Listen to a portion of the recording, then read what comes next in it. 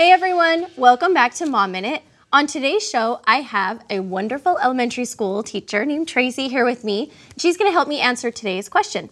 Thank you for being here today, Tracy. Thanks for having me, Mindy. Yeah. so when I saw this question, I thought it would be particularly helpful to have both a parent's perspective and a teacher's perspective to answer this question from Susan. She asks, how do you approach a child's teacher when you disagree about a grade or think they're being unfair? How involved should you be? For my kids, I like to be really involved as a parent and really stay on top of what they're doing in school and also how they're interacting with their teachers, which I hope is a good thing. But I know from my perspective, sometimes it's really hard as a parent when your kid comes home and they have a bad grade and you're not sure why and you are trying to understand what's happening in the classroom. And of course, you're getting like your child's perspective, which is sometimes totally way off base. But I know one thing you don't do is go in and attack the teacher, right? Yeah, I would say that definitely schedule, you know, a conference Yeah. or a meeting by maybe emailing or phone, or phone calling the teacher. And I know most teachers really value that parent-teacher Right. um, partnership. So I think together uh, you can talk about what the child said at home to the parent, and then the teacher can give the classroom perspective. And for older children, I would say you could even invite the child to That's a good tip. the discussion and get their perspective because how do they feel about the grade? You know, that's the important part as well. Um, It also makes the kid accountable for what's happening too, because sometimes they leave things out, right? Like they leave like out some of the information where they're maybe a little bit guilty in this situation, and if they're there, it forces them to be accountable for that as well. The teacher can bring up specific conversations that she had with the child in the classroom and say, Remember when we talked about this that the parent might not be aware of?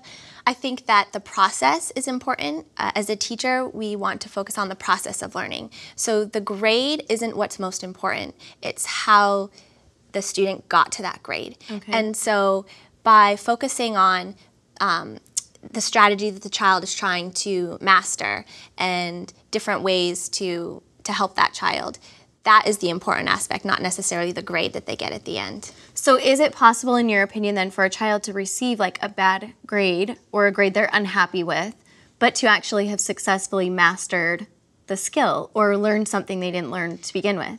definitely i've seen children do so well understanding like a difficult math concept for example and then the day of the assessment it, you know they get nervous so that can have something to do with it the assessment might be slightly different than the way that they practiced and they learned um, and and so sometimes like assessments have tricky questions Right. and and it's very different from the sorts of questions they might have been answering in their workbooks And I feel like that stuff as a parent you wouldn't necessarily know was happening at school. And so you would just see the bad grade and be frustrated over like, oh, they're failing in math and not realize all of the stuff that went on behind that grade. And also, learning is changing so much. We have all these new strategies for teaching math, all these new, you know, workshops for reading and writing, and parents learn differently Right. when 20, 30 years ago when they were in school. And so talking with the teacher helps the parent to learn about those strategies so then they can better support their child's learning at home. Right. So I feel like communicating with the teacher and being really involved is important in this, don't you think? Because if a parent is not involved, they're going to miss all of it. Definitely. I think that as long as there's like a mutual respect Mm-hmm. and that there's some reflection on the parent's behalf before um, Right. inter- in- interacting with the teacher, it will build this more of a collaborative, Right. communicative relationship as opposed to fighting each other. I always think it's sometimes it's hard because you you want as a parent your like instinct is to protect your child, right? My child's right and everyone else is wrong.